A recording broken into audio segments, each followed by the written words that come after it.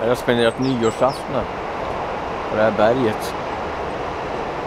Jag har varit många gånger här faktiskt.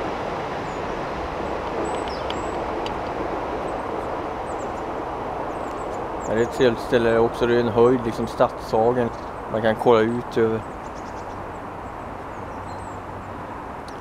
som är andra delar av stan här.